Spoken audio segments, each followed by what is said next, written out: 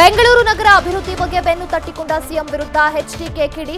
ನಾವು ಕೀಳು ಮಟ್ಟದ ರಾಜಕಾರಣ ಮಾಡುವುದಿಲ್ಲ. ಈ ಬಾರಿ ಚುನಾವಣೆಯಲ್ಲಿ ಜೆಡಿಎಸ್ ಅಧಿಕಾರಕ್ಕೆ ಬರುತ್ತೆ ಎಂದ ದಳಪತಿ.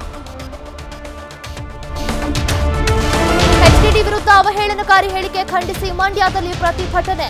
ರಾಜಣ್ಣ ವಿಕೃತಿ ಮನಸ್ಥಿತಿಯನ್ನ ಊಹಿಸಲು ಸಾಧ್ಯವಿಲ್ಲ. ಕೀಳು ಮಟ್ಟದ ಮಾತನ್ನ ಅರಗಿಸಿಕೊಳ್ಳಲು ಆಗ್ತಿಲ್ಲ ಅಂತ ಶಾಸಕ ಪುಟ್ಟರಾಜು ಆಕ್ರೋಶ.